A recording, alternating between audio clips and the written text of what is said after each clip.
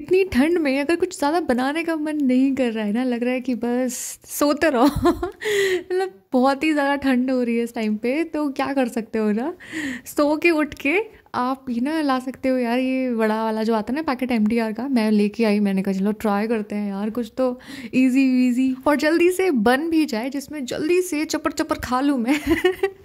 तो यार मैंने क्या किया ना, मैंने पैकेट लिया और उसके बाद उसे पूरा अच्छे से खाली कर लिया और उसके बाद उसमें डालना था कुछ पानी। पानी आपको बहुत कम नहीं डालना है अच्छा खासा डालना है पानी, जिसमें ना ये अच्छे से मिक्स हो जाए और ये बहुत ही मतलब पता नहीं, ये सॉफ्ट बने।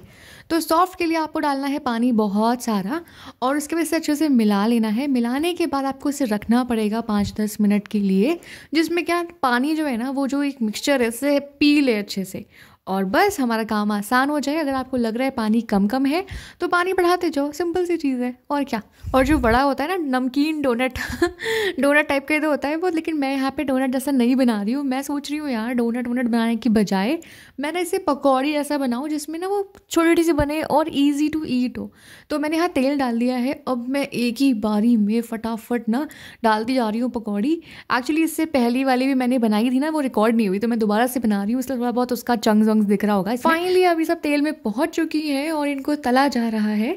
तो अब तलने वलने के बाद ना, तलना आपको बहुत ही लो फ्लेम पे है, नहीं तो पता क्या होगा कि अंदर से बिल्कुल कच्ची रहेगी और बाहर से कलर इसका डार्क ब्राउन तो यहाँ पर मैं बहुत ही आराम आराम से तल रही हूँ जब मुझे लगने लग गया है कि हाँ अब ये तैयार हो गई हैं, खाने लायक हो गई इनको तुरंत से निकाल लेना है और ये बहुत ही बढ़िया तैयार हुई हैं।